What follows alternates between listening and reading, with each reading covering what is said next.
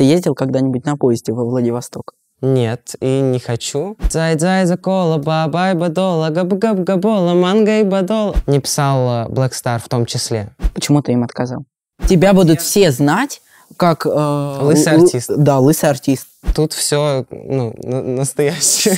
Почему мы не смогли все эти чувства понять? Дора снимала со мной дуэт в ТикТоке, который набрал миллион лайков. Ну забей. Что тебя так триггерит с этого, что человек известнее тебя?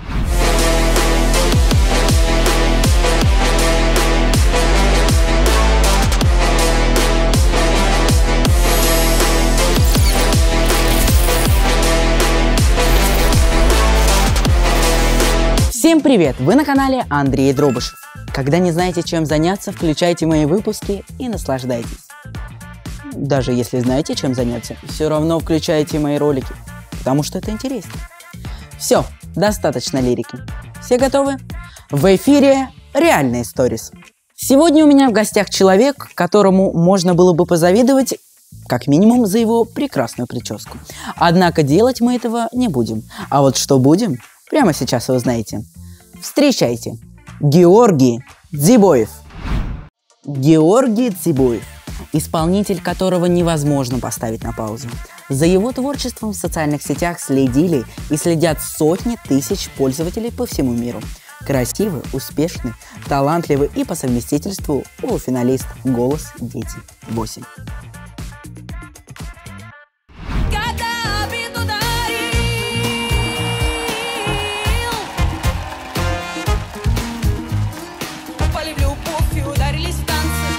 Запомни, есть два типа людей Одни готовы рвать этот мир до костей Идут по головам, не жалея ногтей. И черта оправдают, лишь бы оседлать цели. Есть два типа людей Другие никогда не оставят в беде. Встающие за совестью, упертые за честь. Смотри, не разорвись между ними юней Служба безопасности.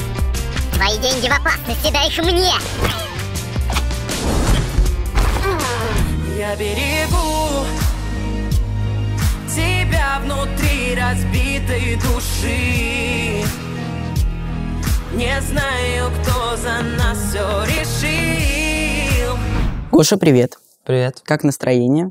Все отлично, потому что приехал на интервью к тебе. Давай э, поговорим про твою родину, Мгм. а именно, как я понимаю, Владивосток. Владивосток, да. А, то есть ты жил там, ну, основное количество своей жизни. Да, я прожил там, получается, 14 лет. Переехал прошлым летом в Москву, и вот сейчас живу в Москве. Ну, у тебя, наверное, остались какие-то друзья во Владивостоке. Да, я общаюсь до сих пор с друзьями, часто списываемся.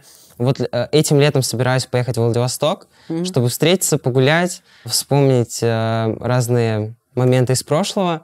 Вот, поэтому, да, остались друзья, до сих пор общаемся, все очень классно. Ты ездил когда-нибудь на поезде во Владивосток? Нет, и не хочу, потому что, по-моему, 7 суток или сколько? Ну, что ж ты. Долго, долго, Девять. очень долго, поэтому не хочу. Нет. Обычно летаю на самолетах. Ты скучаешь по каким-то родным местам или, ну, в принципе, все ок? Я скучаю по людям, Мгм. и я скучаю по морю. Так как Владивосток — это город на море, я очень люблю море, и очень хочу вот летом как раз поехать, подышать свежим воздухом около моря, прогуляться, потому что моря не хватает тут, и не хватает солнца. То есть тут зима, она очень какая-то мрачная. Очень редко выходит солнце, а в Владивостоке зимой, даже если идет снег, всегда солнце. Вот это мне очень нравится во Владивостоке. А почему ты решил этим летом полететь именно во Владивосток на море, а не в Сочи? Ну, и там, и там вроде бы море. На самом деле, я никогда не был в Сочи. Вот, не могу говорить, что там. Но Владивосток я влюблен всей душой. А Там очень много интересных мест. Мне кажется, даже больше, чем в Сочи. Сочи просто ближе к Москве и э, ближе к э, центральной России, поэтому все едут туда. Но мне кажется, если бы Владивосток э, был бы рядом с Сочи где-то, то все бы ездили в Владивосток. Там э, очень интересная местность, очень красивая природа. Вот, поэтому я все-таки между Сочи и Владивостоком выбираю Владивосток. Хоть туда и лететь на самолете 9 часов. Ну вот, живя во Владивостоке, а, ты часто купался в море? Да, летом там вода достаточно теплая. Я не могу сказать, что она там как в Турции или где-то еще. Но да, особенно когда выезжаешь куда-то за город, то есть есть пляжи общественные, а можно выехать на лодке куда-то и купаться одним. Вот, это очень классно, потому что там чистое море, а, прозрачно ты видишь все, крабики ползают, морские ежи, вот, очень нравится. Ты в детстве любил а, гулять э, по Владивостоку? Да, я всегда любил гулять по Владивостоку, там очень красивые улочки. Мне нравится центр. Всегда, когда с друзьями ездил гулять, я ехал в центр, либо гулял э, на своей улице. Вот везде, на самом деле, красиво, очень красивый город Владивосток. Ну вот э, люди в центральной части России обычно летают в Сочи, как мы с тобой говорили, в Дубай. Мгм. А, но живя во Владивостоке, наверное, вам будет ближе слетать э, даже в США или в Японию или в Китай даже. Куда вы летали на отдых? На самом деле в США я не летал. Я ездил в э, Китай. До Китая всего лишь 3-4 часа на автобусе, и ты уже пересекаешь границу, ты уже находишься в Китае. В Китае классно. Что еще сказать? Я очень люблю Китай, я там был раза четыре, наверное. Я даже ездил по обмену. Я учился в школе с углубленным китайским языком, но при этом не знаю китайский язык совершенно. Э, да. Вопрос «скажи что-нибудь на китайском» не прокатил бы. Нихао. Это все, что я знаю. Дзай день. Вот. Я даже этого не знаю. Также я летал в Корею, тоже близко. Корея тоже классно. Мне нравятся там парки развлечений. Вот. Для детей там очень классно. В Японию, к сожалению, еще не ездил. Надеюсь, когда-нибудь съезжу. Вот, как-то так. Ну, конечно, у нас с Владивостока летают и, и в Дубай, и в Турцию. Вот. И туда, и туда. А, насколько я знаю, ты по национальности осетин, Да, правильно? да. А какие в основном у вас национальности представлены во Владивостоке? В Владивостоке у нас живут китайцы. Очень много китайцев.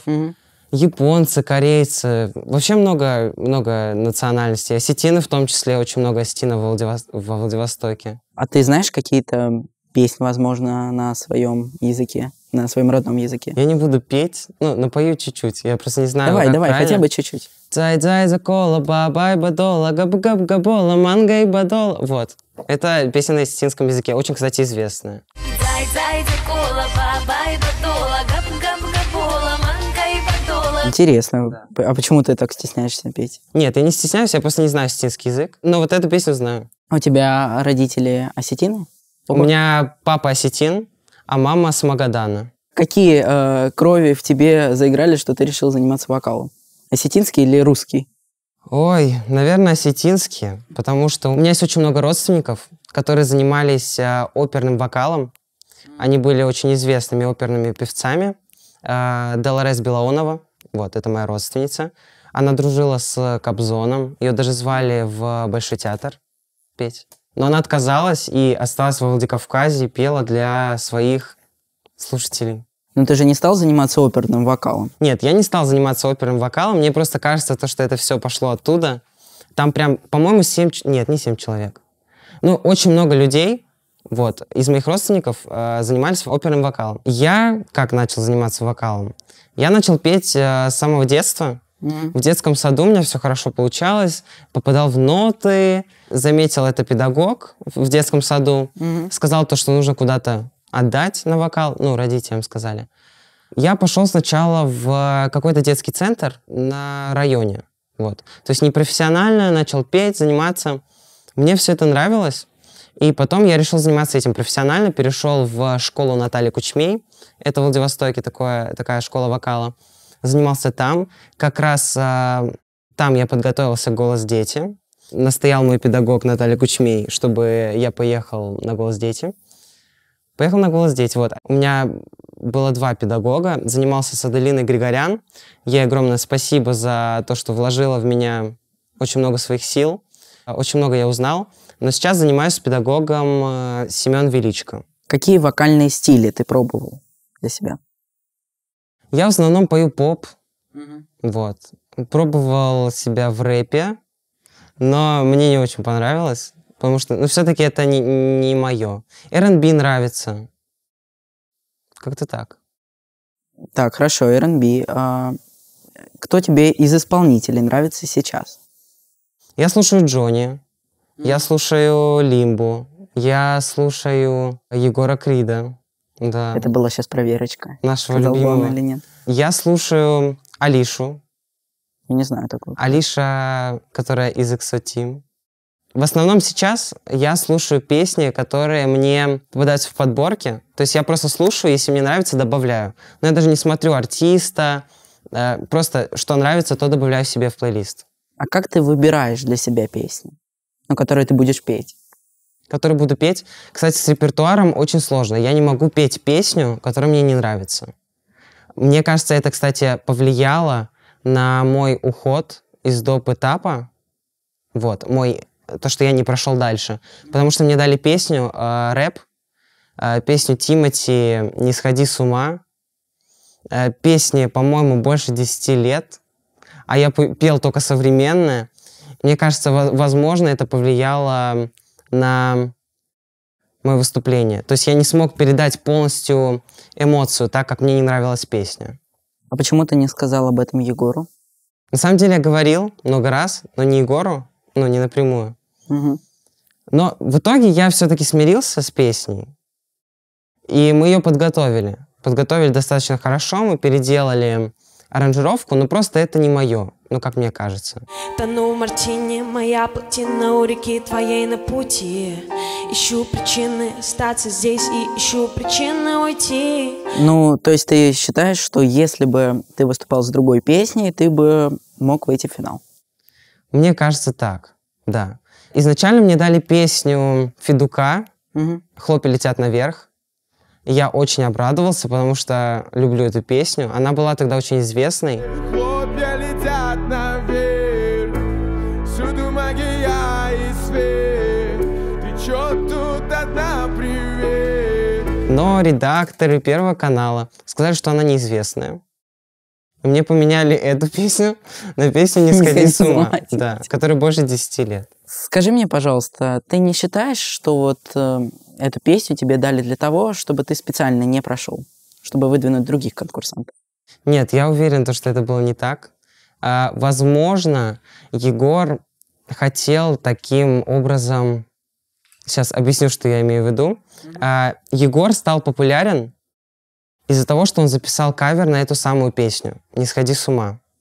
Он записал, его заметили Black Star и позвали к себе. Возможно, это была какая-то отсылка к этому. То есть, Мгм. а, как такой первый шаг к дальнейшему будущему. Возможно, он думал, то, что это сработает. А Не могу утверждать, что это было именно так, а, но он выстрелил с этой песней, с кавером на эту песню. И вот так. Но м- мне эта песня не подошла, к сожалению. Тону в мартине, моя плотина у реки твоей на пути То есть ты думаешь, что это все-таки не был какой-то специально спланированный Нет, я в, я в этом уверен. На голосе такого нет, что кому-то дают специальную песню, чтобы он не прошел. Ну, как мне кажется. То есть ты думаешь, что все честно абсолютно? Да, все честно. Тогда возникает вопрос. Как ты думаешь, победа Ани Доровской в финале «Голос Дети 10» честная? Наверное. Вот, я не могу сказать за тех людей, которые там работают, потому что я не вижу вот этой внутренней... Ну вот а, твой взгляд как зрителя, как человека, который был Я бы выбрал проекте. Милану Пономаренко. У нее более современный подход, у нее классные вокальные данные. Э, Номер был поставлен просто восхитительно. Я сидел в зале, и я просто плакал. Я смотрел на вот это и плакал. Слышу голос из прекрасного далека Голос утренний в серебряной росе Вот, а Аня меня не зацепила. Но Аня тоже хорошая вокалистка. И я не могу говорить за других зрителей. То есть я не знаю, что выбирают они. Потому что голос, голос дети и вообще голос в целом смотрит аудитория немножко постарше. Конечно, сейчас присоединилась более молодая, пришел Егор Крид. Вот.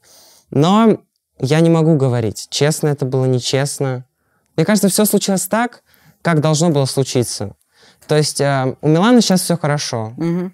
У Ани сейчас все хорошо, у всех все хорошо. Возникает вопрос э, про конкретно тебя а, и а, твое участие в доп. этапе. Мгм. Была ли, было ли какое-то соперничество между вами и между тобой и Алисой Трифоновой? Нет, никакого соперничества не было. А, Мы все общались. У нас вся команда, на самом деле, Мгм. была очень дружна. По-моему, только в одной тройке были какие-то недопонимания, но все остальные дружили, ладили. Ой, тройки. Мы сейчас про дупэтап говорим. Да. Ну А- какая разница, в принципе? Вообще вся команда у нас а, была всегда вместе. Мгм. Мы гуляли вместе все. Вот кто мог, собирался, мы все гуляли вместе в парке Горького, на ВДНХ. Мы очень любили собираться вместе. Сидели вместе в ресторанах. То есть настолько была крепкая дружба, уже прошло сколько, два года, наверное. Мы до сих пор все общаемся. Вот, конечно, некоторые люди немножко отстранились, возможно, они переросли, возможно, есть какие-то другие причины. Вот, но сейчас мы, мы почти все общаемся, и слава богу. С кем из команды общаешься именно ты? Со всеми. Периодически Ну, у тебя- у тебя со же всеми. есть, Эм, А, кто-то, с кем ты общаешься чаще всего? Чаще всего сейчас, наверное, общаюсь с э, легендарной шестеркой. Вот. Золотая шестерка. Её называем. золотая шестерка, не легендарная. Ну, легендарная тоже. Как сказала Адель Загребина, это просто бриллианты. Вот Это пусть просто- это будет да. просто бриллиантовая шестерка. Общаюсь с э, Софией Фантой, общаюсь с Олесей Казаченко, с Алисой Трифоновой, с Алимом э, Фазаиловым и э, Габриэлем Александровым. Есть ли в вашей этой золотой шестерке какая-то иерархия по количеству подписчиков?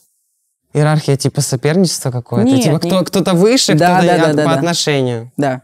Нет, все наравне общаются. Ну, то есть для вас абсолютно не имеет значения то, что кто-то э, дошел до суперфинала, а кто-то выиграл, а кто-то даже не прошел слепые прослушивания. Нет, все общаемся. Тогда а, такой момент.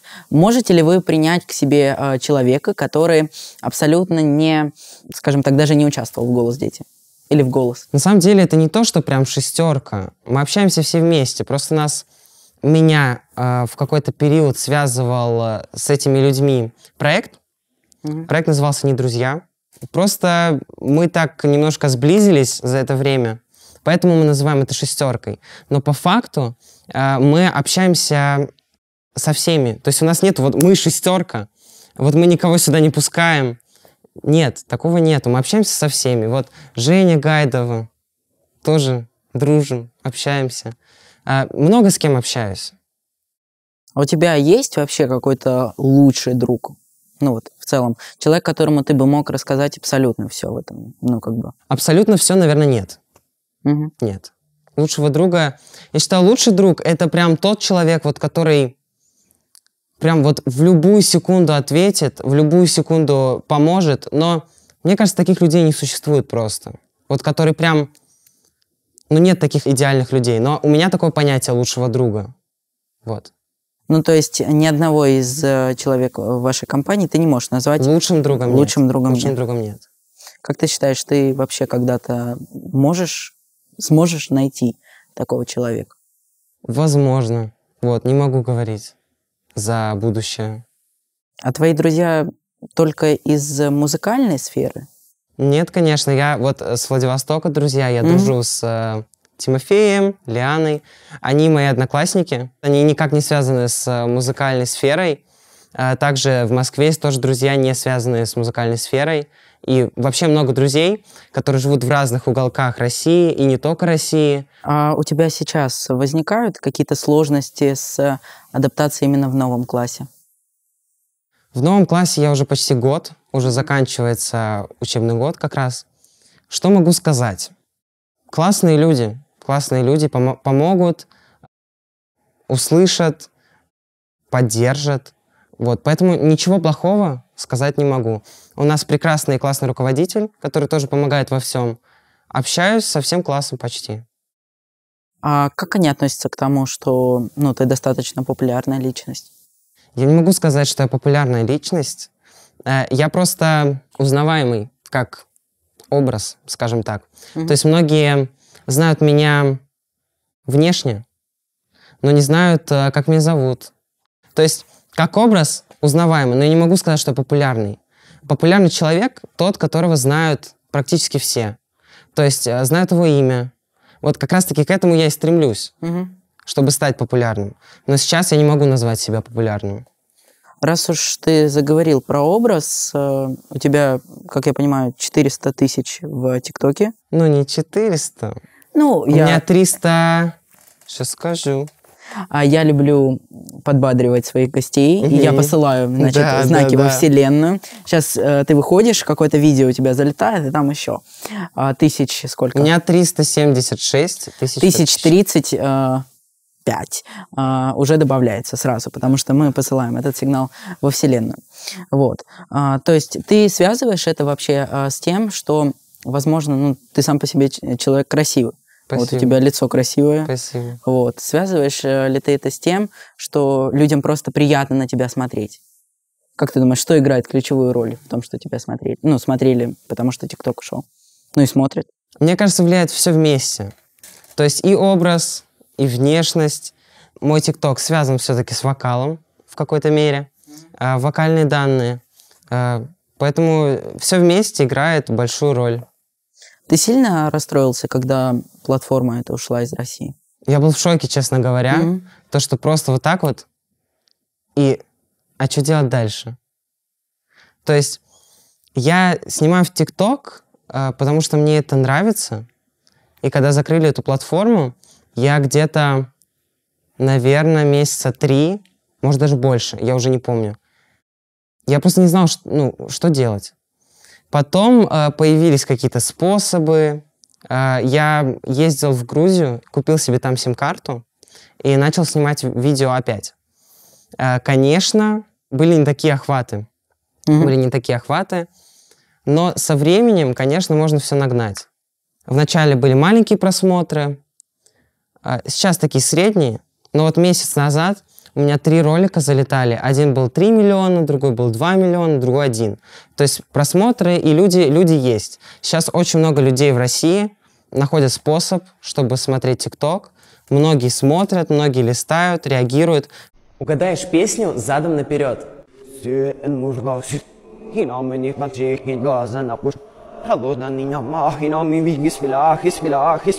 Ну что, угадал, что это за песня? Пиши в комментарии. Я надеюсь, скоро все вернется. То есть ты до сих пор э, снимаешь в ТикТок, правильно? Да, я снимаю видео. А ты как-то выкладываешь их на другие соц... в другие соцсети? Ну, есть же... Я пытаюсь. Я пытаюсь даже в ТикТок каждый день выкладывать, но не всегда получается. Я не могу выложить видео, которое сделано за 3 секунды. То есть я пока свет выставлю, Мгм. пока снимусь. Вот э, я сейчас нахожусь на факультете. Это такое сообщество блогеров, как агентство, можно так сказать. А, и мне предоставляют э, локации, оператора. И это, конечно, очень упрощает съемки, а, улучшает качество, так как э, на камеру получается намного лучше картинка. И, конечно, это также влияет на охваты. То есть красивее картинка, э, больше зрителей.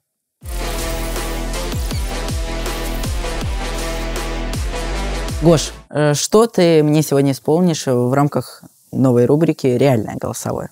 Я исполню песню Джеймса Артура «Trainwreck». Прошу.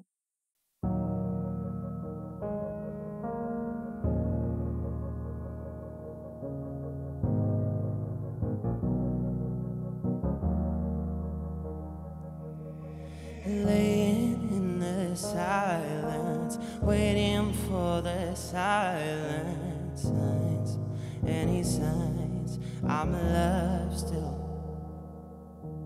I don't wanna lose it, I'm not getting through this. Hey, should I pray?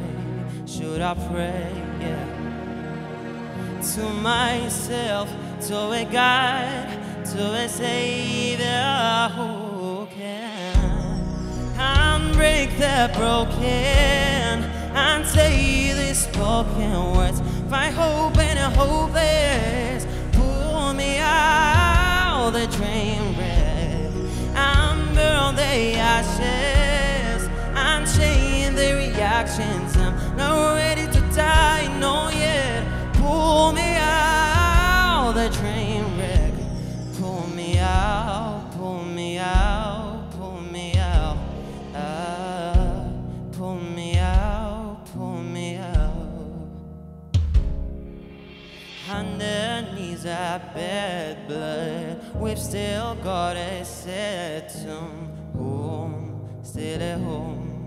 still at home here. It's not too late to build it back. Cause I wanted a million chances, still a chance, still a chance. And I take those eyes and break the broken and say the spoken words. Find hope in a hopeless. Pull me out ashes and change the reactions. I'm not ready to die, no yet. Pull me out the train wreck. Pull me out, pull me out, pull me out. Ah, pull me out, pull me out. You can say what you like, don't say I wouldn't die for it.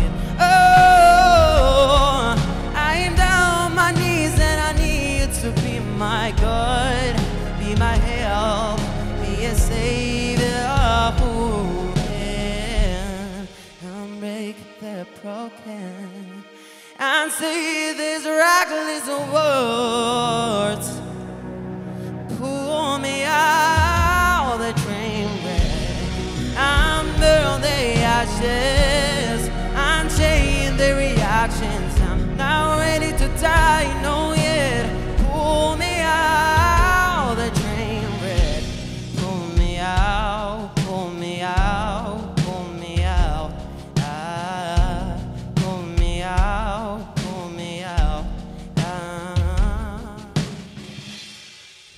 каким лейблом музыкальным ты бы хотел посотрудничать? Или вообще не рассматриваешь этот вариант? Рассматриваю, почему не рассматриваю? А, я не могу говорить, с каким именно. То есть, ну, я не знаю. То есть, э, какой лейбл что предложит, какие будут условия. Я не хочу писать сам лейблу. То есть я хочу, чтобы ну, дойти до такого уровня. Мне уже, конечно, писали лейблы. Мне писал э, Black Star в том числе. Ну, просто это один из самых известных, поэтому говорю. Писал Black Star. Но можно сказать так, что я не стал работать с ними. Ну, Black Star — это Black Star. Вот. А лейблы работают так, но ты сам это все знаешь, что у них есть какие-то известные артисты, и все идет в этих известных артистов. Раскрутка и все остальное. Деньги. Деньги в том числе.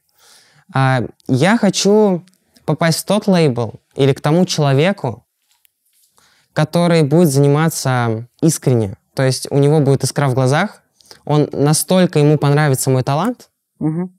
что мы вместе эм, вот этой командой дойдем к какой-то верхушке. Вот, я хочу так работать. Как ты думаешь, ну вот если условно представителям Black Star не понравился бы твой вокал, твой талант, Мгм. они бы не увидели в тебе какую-то будущую звезду, они бы, наверное, тебе не написали? Почему ты им отказал? У Black Star не очень хорошие условия, это все знают. Ты хочешь э, сам как артист развиваться вообще без лейбла? Нет, я же говорю, я не против лейблов. Если мне напишут, это будет классно. Просто пока я не нашел э, идеальный вариант. Я сейчас выпускаюсь через один лейбл, но я не являюсь артистом этого лейбла. А что это за лейбл? Я сейчас выпускаюсь через Zion Music. Но я не являюсь артистом этого лейбла, полноценным. Хочется, конечно, стать полноценным артистом какого-то лейбла хорошего, который будет заниматься. Обычно люди после таких серьезных проектов, особенно когда они доходят до серьезных этапов, Мгм. они перестают ездить на конкурсы. А, Что думаешь об этом ты? Я сам по себе не люблю конкурсы, потому что это огромный стресс. Мгм. Каждый раз, когда я выхожу на сцену, я чувствую стресс. Чувствую стресс. И на самом деле как раз-таки конкурсы помогают с этим бороться. Чем чаще ты выходишь на сцену, тем меньше ты боишься. Но этот страх никогда не уйдет. Он всегда будет присутствовать, просто его можно немножко уменьшить. Я так считаю. Участвую ли я в конкурсах? Иногда. Нужно ли участвовать в конкурсах? Нужно. Особенно тем ребятам, которые только начинают. Конкурсы помогут им э, меньше бояться сцены, быть увереннее в себе. Но я считаю, конкурсы — это хорошо. У тебя есть проект, на который, ну, попасть — это твоя мечта? Ну, можно зарубежный, можно российский. На самом деле, не очень хочу участвовать в каком-то проекте. То есть это классно, Мгм. если пригласят, если я сам куда-то попаду через кастинг. Но все-таки, когда ты участвуешь в проекте, тебя потом ассоциируют с этим проектом. Мгм. То есть вот все, кто вышел с «Голос дети», ну сколько людей, которые стали известными? Мало. Ну, не скажу. Есть Алиса Кожикина. Есть да, Алиса Кожикина. да. Есть, много, ч- а, много людей. Есть э, Микела Абрамова, которая... Да, но они, они, понимаешь, Микела тоже, кстати, классная. Микела а, очень классная. Очень классная. Микела, если ты слышишь это, приходи ко мне на интервью. Мы бы с тобой замечательно заобщались. Приходи. Есть люди, но их единицы. Они почему-то, почему-то, они останавливаются после этого проекта. Они считают, что это их вышка. Но на самом деле нет предела совершенству. Нету и никогда не будет. В любом случае, вот ты репетируешь, с каждым разом у тебя получается что-то лучше. И не нужно останавливаться на одном проекте. А вот ты выступил и ушел, например. Напиши свои песни. Попробуй писать свои песни. Если не получается писать, купи песню. Не у всех, конечно, есть возможности. Но нужно как-то дальше двигаться, а не стоять на месте. Вот я считаю так. А ты уже пишешь сам песни? Я пытался писать песни сам. Я не могу сказать, что у меня получается идеально пока что. Я ищу себя в этом. На самом деле сложно. Сложно, но я пытаюсь. Пока что мне либо пишут песни, либо недавно мой брат, у него пришло какое-то сознание, он начал писать песни. Он э, понял, что мне нужно как-то идти дальше, а тратить деньги на песню каждый раз, а это большие деньги, это, ну, как-то не очень. И он просто сел, включил бит в интернете и написал песню. Причем песня очень даже классная. А вот э, недавно вышла, наверное, недели шесть назад. Песня «Снег на губах». А, я только хотел про нее узнать. Вот, песня «Снег на губах». Это написал твой Ее брат. написал мой брат. То есть он а, сейчас, скажем так, пишет для тебя песни. Да, я тоже принимал участие в этой песне. А, но большинство своих усилий принес в эту песню мой брат, за что ему огромное спасибо. Снег на губах тает в слезах Почему мы не смогли все эти чувства понять? А у тебя есть вообще какой-то, ну, скажем так, какая-то реальная история в жизни, которая повторяла бы сюжет этой песни? Наверное, нет. И слава богу, это хорошо. Надеюсь, никогда не будет. Расскажи про ваш проект. Ты уже упоминался. Не друзья. Не друзья. Ну, я так понимаю, что уже ты не в не друзьях. А, Вот. я не могу сказать, что я не, не в не друзьях, как в компании людей, Ну, как в проекте но как уже... в проекте уже, уже нет. не там. Заканчивается сезон. Я не знаю, будет ли второй сезон. Мгм. Вот. Но, ну, не могу говорить за будущее, опять же. Но сейчас я не в проекте на данный момент. Почему вы вообще решили его так назвать? Ну, как я понимаю, на время того, как вы придумывали это название, ты еще был в проекте. Да.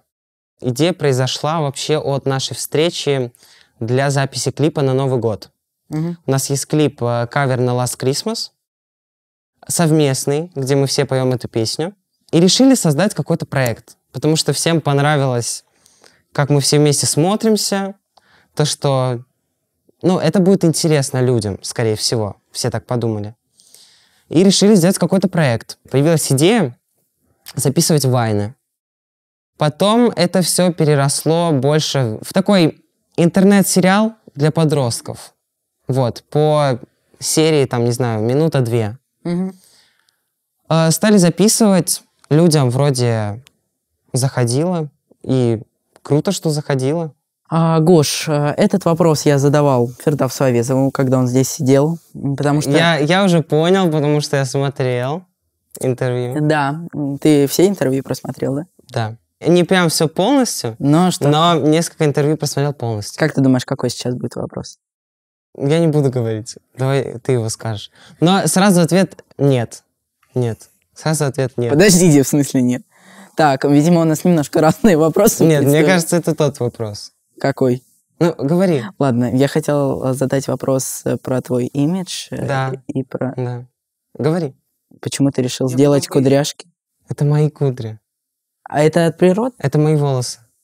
Ну, я понимаю, что это твои волосы. Ты их закручивал э, искусственно или... Нет. А, это от природы? Да.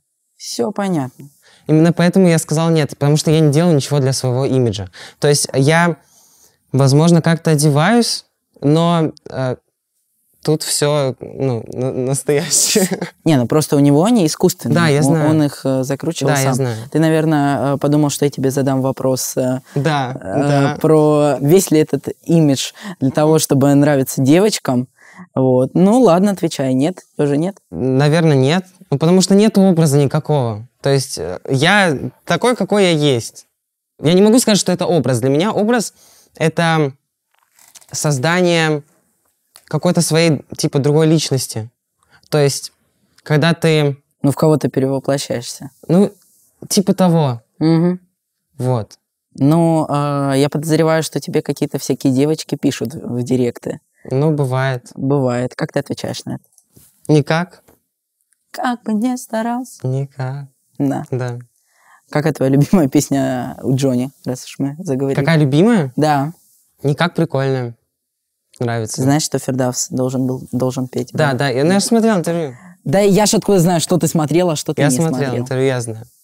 А ты бы хотел как-то в будущем поменять свой имидж? На самом деле, мне кажется, ничего менять мне не нужно. Ну, наверное. Не знаю. Ну вот давай представим ситуацию. Э, Мы разговаривали про лейблы. Я знаю, что Алиса Кожикина ходила по лейблам, и ее постоянно пытались менять. То есть ей там хотели какую-то рокерскую, рокерский ракет сделать или что-то в этом роде. Вот если бы тебе написал какой-то крутой лейбл, к которому ты хотел бы присоединиться, они бы сказали, Гош, тебе нужно побриться на лысо. Что бы ты им ответил? Они бы просто так не сказали. Ну нет, может быть разное. У всех людей разные видения. Смотри. Во-первых, смотря какой лейбл. То есть Ну мне... вот, вот самый желанный твой лейбл. Вот все бы э, тебе сказали, у тебя такой классный вокал. Ну, в такой такой- ситуации, в такой ситуации, да, я бы подстригся. Ну, э, у меня бы отросли волосы заново. Ну, в чем Ну проблема? а если бы они тебе сказали вот именно развиваться как э, лысый человек, или как-то хотели бы поменять твою внешность, ты бы согласился на это вообще в целом? Я не знаю. Если подстригся- по- подстричься один раз... Нет, да. ну вот именно развиваться. Но если тебе, постоянно тебя будут подерж- все знать как... э, Лысый артист. Да, лысый артист. Наверное, нет. Не согласился бы Нет. Вот не за любые деньги, абсолютно не за любое. Нет. Творчество, если бы тебе сказали, завтра ты будешь звездой. Нет, ну это стать. странно.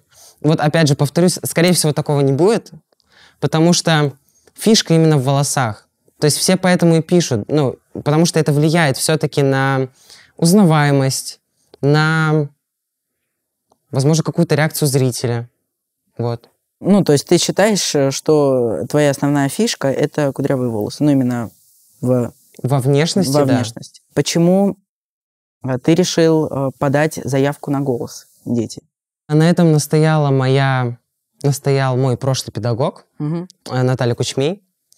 А, Она говорила то, что надо. Вот, если не возьмут, то она будет просто в шоке. Ну, потому что уже пора. Мне было тогда сколько лет? 14, наверное. Ну, уже нужно было, потому что уже бы было поздно потом идти. Мгм. На самом деле, я бы пошел даже чуть раньше. Потому что в тот период у меня уже началась сломка, и я не мог показать полных возможностей. Она до сих пор идет, поэтому я жду, когда она закончится, чтобы ворваться в эту индустрию заново. А как ты вообще сейчас с ней справляешься? Она не так э, сильно влияет на мой вокал, просто она мне немножко укоротила диапазон, э, и бывают петушки. Ну, а ты как принимаешь себя вот, ну, в психологическом плане? Ну, мне кажется, это немного сложно. А, Пел-пел с одним голосом, вот, а потом бац, и как бы ну, минимум на октаву он спускается. Вот. Как, как ты вообще это... ну, Ты принимаешь себя с этим? Не, на самом деле мне абсолютно комфортно сейчас с моим Мгм. голосом. Бывают такие моменты, когда пересматриваю свои ролики год назад, даже. У меня ломка идет очень медленно. А, год назад, вот я тогда не понимал, что я так классно пою. А я пел очень классно. Вот именно тогда, когда у меня произошел такой небольшой взлет в ТикТоке, я пел очень классно, но тогда я этого не осознавал. У меня был классный фальцет. Сейчас я не могу фальцетом петь, ну, пока ломка не прошла. Ну вот в плане ведения своих страничек в Да, социальных сетях. Да, Перфекционист. перфекционист. А как для тебя их вообще сложно вести? На самом деле сложно именно вот из-за этого перфекционизма. Мгм. Потому что бывает, иногда выставляют то, что мне не совсем нравится. Всегда я даже не могу ролик просто так выложить. Я всегда скидываю друзьям и спрашиваю, норм или не норм? Вокальное видео, не вокальное видео. Всегда спрашиваю, норм или не норм. Если мне говорят норм, я такой переслушиваю опять. Ну, ладно, нормально. Нормально. Не, не хорошо, не идеально, но нормально, выложить можно. Все-таки люди, которые смотрят, ну, в основном, они не копаются в этом так глубоко. Они не обращают внимания на все ноты. Они смотрят на картинку в целом. Им нравится. Но я-то понимаю, что тут я совершил ошибку, тут я сделал что-то не очень. И иногда это сложно. Ну, правда, сложно, потому что хочется выкладывать только такую идеальную картинку. Гош, предлагаю немного размяться не только в физическом плане, но и в музыкальном, и сыграть мое любимое шоу в шоу «Музыкальные статусы». Дамы господа, ladies and gentlemen, добро пожаловать в мое любимое и уникальное шоу в шоу «Музыкальные статусы». Это мой сегодняшний гость Георгий Дзибоев. Значит, э, рассказываю правила нашей замечательной игры. У нас есть первая часть предложения, она звучит так. Эту песню я пою, э, когда и вот, соответственно, под этими карточками спрятаны эти предлагаемые обстоятельства. Когда же а, ты поешь эту песню? Ну, например, эту песню я пою, когда делаю уроки. Соответственно, ты поешь песню, когда ты делаешь уроки. Окей, все, перемешиваю, чтобы все было честно. Вот. Готов? Капец там карточек. Да, А? готов, готов. Что ж, Много вариантов. слишком. Так. Когда хочется на пляж. Ну, видимо, на пляж во Владивостоке. Эту песню а, Георгий Дзибоев поет, когда ему хочется на пляж. А на море белый песок, дует теплый ветер в лицо. Дальше я не знаю слов, это грустно. Давайте, все, ахалай махалай, интересную карточку выбирай. Мне кажется, вот это самое интересное. Так. Когда не хочу ничего петь. Эту песню Георгий Дзибоев поет, когда ему ничего не хочется петь. Гоша, три секунды на размышление и давай. Когда не хочу петь, я ничего не пою. Так можно? Нет, так нельзя. Так нельзя. Так, Гоша, ну ты провалил свою одну карточку. Давай, две штрафных тебе за это. Две. Две, конечно, а как ты думал? Готов? Так. Когда выкладываю новый пост на свою страничку. Эту песню, ты придумал какую песню? Не придумал. Сейчас, подожди. Эту я песню Георгий Дзибоев поет, когда он а, выкладывает пост, новый пост на свою страничку. Снег на губах тает в слезах. Почему мы не смогли все эти чувства понять? Как всегда я один, ну а ты не одна. Наши грустные мысли забыть навсегда. Возможно, я пытаюсь так мысленно пропиарить свою песню. То есть, понимаешь, выкладываю пост и думаю о своей песне, э, что и пост залетит, и песня залетит. Вот так. А, Гош, ну мне эта песня очень нравится, я ее уже добавил в свой плейлист. А, так, Класс. Так, Класс. и и Класс. Ой, третья уже, уже третья. Когда страшно волнуюсь. Эту песню а, Георгий Дзибоев а, поет, когда он а, страшно волнуется. Когда ты страшно волнуешься? Перед выходом на сцену, перед важным каким-то мероприятием, а, перед контрольной. Давай представим, что ты сейчас а, из этого кабинета пойдешь а, писать ОГЭ. Что ты будешь петь? Ни одна из этих girls мне не верила Поднял вверх весь свой склад, будто перила Я как гад сделал всех, вот и все дела Прыгал на быка, да порою было нелегко У вас прям с Миланой какие-то одинаковые музыкальные вкусы. Она то же самое пела? Да. Я просто пропустил А, нет, она пела, что она пела? Она пела We Gotta Get Love. А, Так, это Фердавс. Вы оба кудрявые. так, так, так, так, так. Так. Стой. Откуда энергия? Теплая, теплее. Перемешался. Теплее. Э, Стой. Так, вот, вот. Вот это. Отсюда. Так, Когда спросят что-нибудь спеть. моя любимая карточка. Что ты поешь, э, когда тебя просят что-нибудь спеть? On another love, another love. All my tears have been used up on another love, another love. All my tears have been used up. Оставим так. Даже переписывать не будем. Все. Давай, финальная карточка. Фоу. Так. Когда представляешь, что я звезда мирового масштаба. Эта карточка осталась у нас с прошлого раза. Ну что?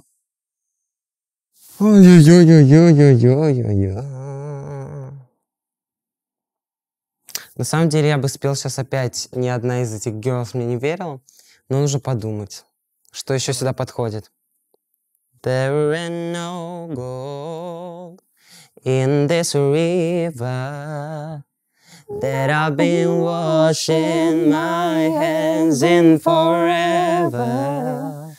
No, there is hope in this waters, but I can't bring myself to swim when I am drowning in this silence, baby. Let me in. Go easy on me, baby. I was still a child, didn't get the chance to. Я думаю, достаточно. Хорошо. А, ну что, возвращаемся в нашу э, студию и продолжаем наш реальный разговор.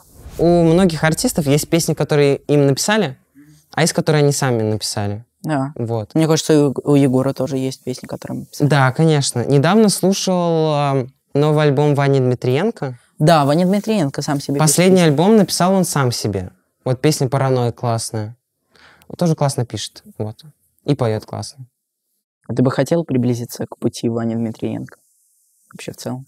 Я не хочу кому-то приближаться. Я не хочу ни за кем повторять. Мгм. Я хочу, чтобы у меня был свой собственный путь. У меня нет какого-то кумира. Вот прям кумира, знаешь, такого прям, «А, вот хочу быть как он. У меня нет такого. У меня есть люди, которыми я восхищаюсь, но я не хочу быть как они. У них своя судьба. Они прошли э, через какие-то сложности. Ты ж не знаешь, что они Мгм. преодолели. Ты не знаешь, насколько им сейчас плохо. Возможно, они показывают себя такими веселыми, все у них классно в жизни, а по факту у них там нету, например, вообще друзей, им одиноко, а, у них какие-то проблемы в жизни. Они это не выносят в большинстве своем. И я не хочу повторять чей-то путь. Я хочу, чтобы у меня был свой путь, и чтобы я смог преодолеть свои какие-то вот эти вот камни Мгм. и оказаться на вершине. Где бы ты хотел ор- организовать свой сольный концерт? И когда? На самом деле, пока про это не думаю. Мгм. У меня мало песен своих. У меня была песня под моим старым никнеймом, ну, просто Георгий Дзубоев. Песня «Бесконечность». Знак бесконечность отпечаток души Если музыка в нас, если музыка в нас Такая песня не для широкого спектра слушателей, но те, кто ее слушал, она им нравится очень сильно. Но это не, больш- не на большую аудиторию песня. Потом э, как раз-таки вот моя вторая песня недавно вышла «Снег на губах». И в дальнейшем сейчас планирую выпускать песни. И только потом, когда у меня будет уже свой репертуар, достаточно большой, чтобы провести свой сольный концерт, только тогда я буду думать, где я буду его проводить. Потому что сейчас об этом думать просто нет смысла. А как ты вообще придумал этот псевдоним? Сейчас у меня псевдоним Геор. Ну, да, я про него и говорю. Как придумал, просто меня многие называют Гоша. Мгм. Во Владикавказе это моя вторая родина. Я осетин, мой папа с Владикавказа. Меня называют все Геор. Геор. То есть э, кратко от Георгий, Геор. И у меня было два варианта. Либо Гео, либо Геор. Мгм. Я все-таки остановился на Геор, так как многие близкие меня так называют. И мне кажется, достаточно хороший псевдоним. А где ты пишешь именно аудиоматериал? Всегда по-разному, как получится. Вот недавно записал новую песню, мы ее писали на квартире. Вот. А у тебя есть домашняя студия? Не моя. Угу. Писали на квартире у друга. Записывался у Мартина, у Миши Смирнова. Вот «Снег на губах» у него писали. Вот у Миши Смирнова, у Игоря Смирнова тоже писал. Ну, вот у него больше всего писался. Потому что вот все кавера, все вот эти совместные проекты мы пишем у него. А где вы писали именно клип на песню Easy on Me? Из Он Ми мы снимали в Осетии, в горах, М. во Владикавказе. Вообще это было все очень спонтанно. Мы на машине едем во Владикавказ из Москвы. Тут появилась какая-то переписка, вот общение с э, Софией Фантой, с ее мамой и с Ноной Миногиной, оператором. Появилась идея снять клип во Владикавказе. В горах, ну потому что красиво, классно, природа. И просто как-то это решили вот в одну секунду. Все, записываем. Тут решили определяться с песней. Как раз вышла Easy on Me в тот период. Ну, недавно она тогда вышла. Мы выбрали ее. Она как раз подходит под ландшафт, подходит по атмосфере. Записали, э, записывали клип, по-моему, два дня. София прилетела во Владикавказ на три дня. У нас был один день отдыха, и два дня мы снимали полностью.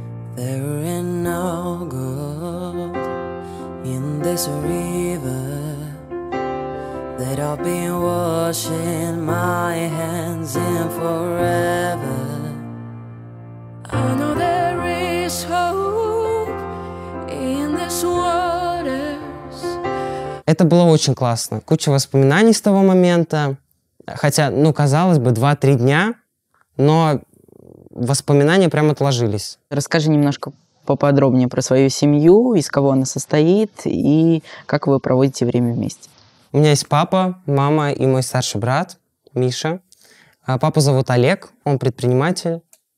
А Маму зовут Елена, она э, работала в банке. У нас классная семья, очень часто проводим время вместе. Часто вы ездите на родину к папе. Стараемся каждое лето. Бывает, иногда не получается, но вот планирую этим летом, в том числе, кроме Владивостока, посетить Владикавказ. А у тебя есть какие-то любимые места именно во Владикавказе? Я очень люблю наш двор, вот, где я там... э, у нас там есть квартира, и вот этот внутренний двор, э, очень много там классных людей, с которыми в детстве, вот когда приезжал летом, общался. Э, Дружили, гуляли, бегали, ну, что только не делали. Вот, я не знаю прям какие-то классные места города, ну, центр, вот, парк развлечений там есть.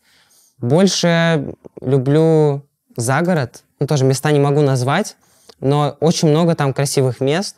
Вот ты просто уезжаешь за город, и вот едешь, едешь, едешь, и вот с любой стороны, куда ни посмотри, будет классно. То есть э, ты очень любишь такой, а, скажем Я так, люблю горы. природу, Я да? люблю горы, и я люблю море. Ты любишь вообще время проводить один в целом? Ну, вот в каких-то природных местах. У меня такого не было. А, Не могу сказать. Мне, наверное, больше нравится в компании находиться. Гоша, как вы решаете ваши семейные проблемы? Я не могу сказать, что у нас есть какие-то проблемы в семье. Ну, а, это как бы понятно, что нет никаких супер э, больших проблем, но как бы, ну, какие-то мелкие же бывают, недопонимания или что-то. Как вы вообще Мелкие с не- этим да. боретесь? Мелкие недопонимания бывают, но как-то они проходят, не знаю. Все равно приходим к какому-то общему мнению. Ну, а как вы это решаете вообще в целом? Вы садитесь, разговариваете, или, возможно, вам нужно какое-то время подумать самим, походить? Наверное, нужно какое-то время.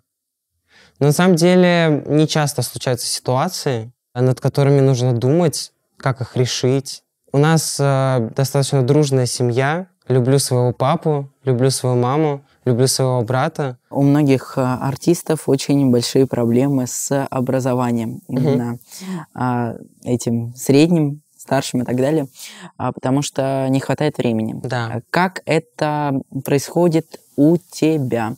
Э, Давай, наверное, разделим э, части, как это происходило во Владивостоке, как это происходит сейчас в Москве.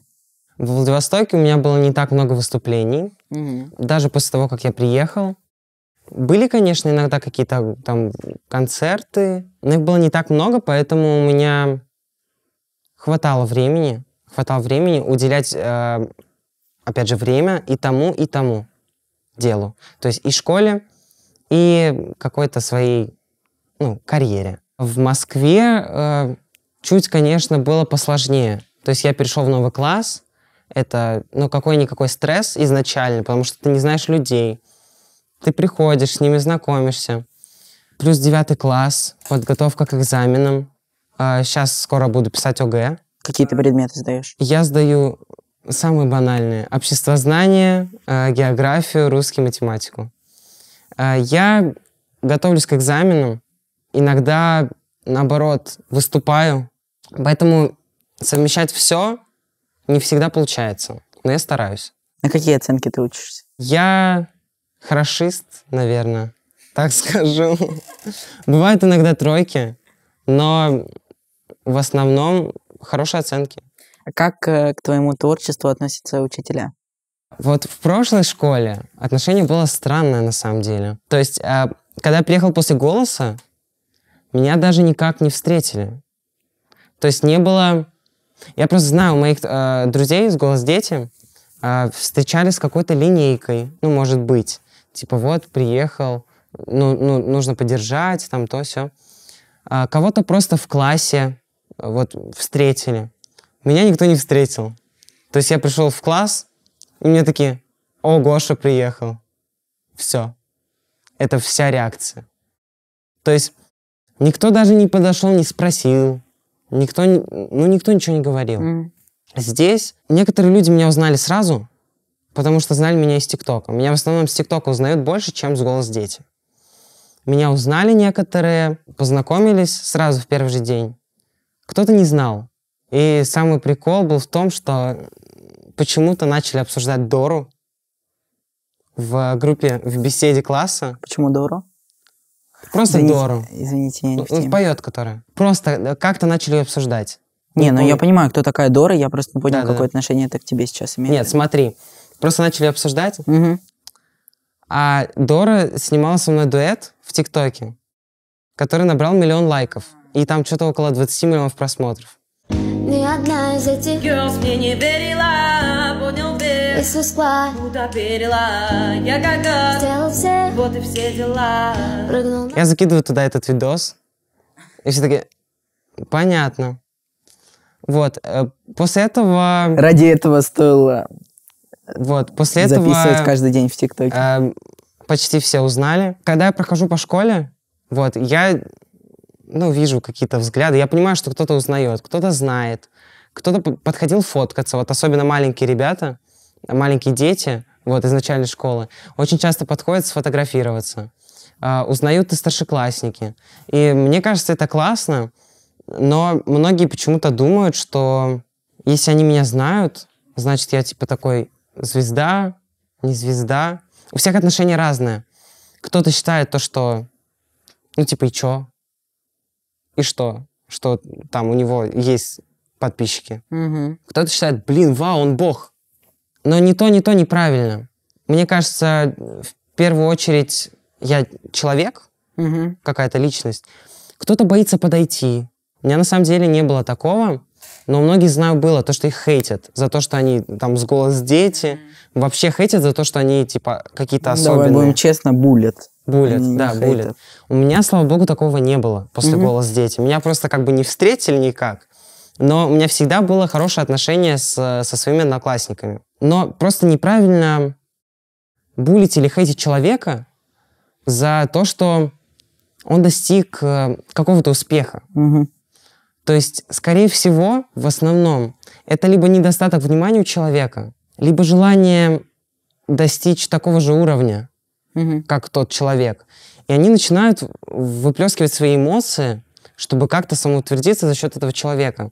Просто многие э, с голос дети вообще дети, которые становятся, попадают в шоу-бизнес, Мгм. они переходят на домашнее обучение. И не просто потому, что они хотят учиться на домашнем обучении, Потому что это а целая потому проблема. что вот у меня очень много знакомых, которых кидали с лестницы в школе. Серьезно? Да, над которыми прям смеялись. Эм, от внешности до голоса. То есть проходились просто полностью по человеку. И Но это неправильно, я считаю. Все-таки всегда должно быть какое-то человеческое отношение. Бывает такое, что вот человек тебе не нравится. Ну вот просто не нравится. Но зачем тогда высказывать какое-то мнение? То есть если тебе не нравится человек, наверное, ты даже не станешь э, уделять ему какое-то внимание. Мгм. То есть, ну забей. Что тебя так триггерит с этого, что человек известнее тебя или неизвестнее, или у него что-то лучше получается. Вот. И даже если человеку что-то может не нравиться, это не значит, что это как-то неправильно. Возможно, проблема в этом человеке, то, что ему это не нравится. Но если тебе не нравится, тогда ну, твои проблемы. Другим нравится. Я уверен, что под твоими выступлениями на голосе Мгм. наверняка были какие-то хейтерские комментарии. А, Мало. Очень мало. Возможно, я давно не заходил. Скажи, как ты вообще на это реагировал? На самом деле никак не реагировал. К хейту отношусь, наверное, как-то вообще нейтрально. И всегда к нему так относился. Возможно, мне это даже как-то помогает развиваться в соцсетях, Мгм. потому что, ну, мне пофиг абсолютно, что мне напишут. Я делаю то, что я хочу. У меня есть своя какая-то внутренняя перфекционизм, свой внутренний. Я понимаю, что мне не нравится или нравится, но мне все равно, что скажет другой человек. То есть, если это близкий человек, возможно, я прислушаюсь, но я все равно подумаю, так ли это или не так.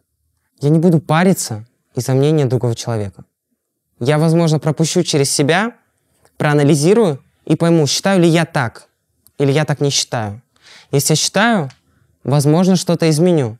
Но если я не буду считать это какой-то проблемой или минусом, я не буду ничего делать. Гош, вот ты сказал, что ну, как бы, ты не, не бог, а, но в то же время и не- тебя нельзя никак принижать. Нет, меня не- нельзя принижать. Вообще никого нельзя принижать. Но Но это- я, я говорю да, в целом, да, ну, как да, бы на да. твоем примере, в общем. А, то есть, ну, ты, то есть ты обычный человек. Обычный человек. Да. А, давай тогда представим ситуацию, что тебе с тобой хотят кто-то познакомиться, и для этого пишут тебе в директ. Что бы ты ответил на это сообщение? Смотри, это странно писать, э, типа, давай подружимся. Ну нет, вот условно. А, я, ты человек, а, я бы тебе написал, что типа, привет, Гоша, ты классно, мне нравится твое выступление, э, твои, как бы, твое творчество. Я бы хотел э, с тобой пообщаться. Ты очень классный. Мне кажется, мы с тобой нашли бы много общего. Что бы ты ответил на это? На самом деле есть несколько человек, которые меня зацепили. А, то есть они мне что-то написали, я даже подписался на них взамен, а, взаимно. Ну, взаимно, да. И иногда общаемся, то есть мне реагируют, я что-то там отвечаю, но я не могу ответить всем. А, то есть если это просто сообщение «Привет, давай подружимся», наверное, я никак не отреагирую. В основном я зна- знакомлюсь э, с людьми в жизни. То есть если меня что-то зацепило, Но если у людей нет возможности пообщаться с тобой э, в жизни, Смотри, в директе я отвечаю. Я стараюсь отвечать. Типа, если мне напишут «Привет, давай познакомимся», я напишу «Привет, э, прости, в интернете не знакомлюсь». Ну, типа, всегда, когда мне пишут, я как-то реагирую. То есть я могу поставить лайк на сообщение. Если со мной хотят пообщаться, я могу пообщ- пообщаться. Все зависит от обстоятельств. Ну вот просто у Алисы Трифоновой, которая здесь сидела, она мне этого не говорила, но я видел по ее со- социальным сетям, у нее категоричная позиция в этом плане. То есть если ей пишут э, познакомиться, она не знакомится абсолютно. В социальных сетях вообще считает это каким-то ненормальным. Вот. Ну а если человек просто решил, ему действительно интересен ты как, как человек, не как друг, э, который будет типа тот самый крутой популярный друг. Да-да-да. Вот. А если, ну, это действительно какой-то классный, искренний, э, интересный чувак, Мгм. То есть, ну, ты бы смог с ним вот реально общаться, не э, реакциями перекидываться, а реально общаться как со своим, ну, я не знаю, для каждого... человек зацепит, Для да. каждого понятия друг это вообще абсолютно разное. Ну, то есть для кого-то Да-да-да. друг это вообще, ну, то есть у кого-то нет друзей. Да. Хотя друзья... По это факту есть какие-то Э, знакомые, да. которые... ну, Кто-то не называет друзей другом, знакомыми, да. кто-то знакомых друзьями и так далее. Поэтому, ну, нет какого-то понятия общего. Вот. То есть э, ты бы общался, да? Если бы тебя зацепили. Тогда, Да, воп- да. тогда вопрос, как тебя зацепить? Вот что тебе должен написать человек, чтобы э, ты решил, вот я хочу с ним пообщаться. И были ли вообще такие случаи? Смотри, мне писали люди а, по поводу вокала, например. То есть мне пишут, блин, я просто тобой восхищаюсь, ты такой классный. вот, типа, помоги мне, вот как, как, как научиться петь, там, как достичь каких-то высот. Я отвечал, я помогал, меня спрашивали педагогов каких-то вокальных. Я говорил, к какому педагогу можно пойти. Меня спрашивали какие-то советы, ти- как, как попасть на голос дети, как пройти. Я тоже подсказывал. То есть я стараюсь общаться со всеми в любом случае. У меня не так много сообщений в директе. Их не миллион. Я в силах ответить на все. Поэтому если вы хотите ко мне обратиться, пишите мне в директ, я вам обязательно отвечу. Но на такие сообщения, как просто «Привет», вас, обычно я не отвечаю. Ну что изменится? Вот я напишу человеку «Привет». Ну что будет? То есть если человек сразу описал свои какие-то эмоции, или не эмоции, не знаю, у него есть просьба какая-то, что-то, а не просто сообщение «Привет», или не просто смайлик. Зачем мне отвечать на смайлик? У смайлика нету никакой Смысловой нагрузки. смысловой нагрузки. Да. Вот, опять же, это про зацепить. Если меня зацепит, я отвечу. Ну, то есть э, такая, такая сводка, чтобы тебя зацепить, э, что тебе нужно написать? Тебе нужно э, какой-то совет попросить? Или тебе... Что человек сам хочет написать, обратиться. Это ж не я... э, Смотри, вот я напишу, вот я сейчас скажу. Мне нужно обратиться, э, ко мне нужно обратиться, написать там «Привет, Гоша» а, или «Привет, Геор». Так, если хотите э, зацепить э, Гошу Дебоева, пишите ему «Привет, Геур». «Привет, Геор». Ну смотри, даже если скажу, напишите «Привет, Геор, как у тебя дела?» Ты ответишь на это? Не буду я на это отвечать. Я сейчас дам определенный шаблон, и мне люди будут писать «Привет, Геор, как у тебя дела?» Так не пишем, так не пишем. Это стоп-лист. То есть, если у человека есть что, какое-то искреннее, искренний вопрос, искреннее желание какое-то пообщаться, я же, я же это пойму по сообщению. Если я пойму то, что человек прям искренний, настоящий... Есть же, понимаешь, есть люди в интернете, которые, например, у них страница не со своей фотографией. Мгм.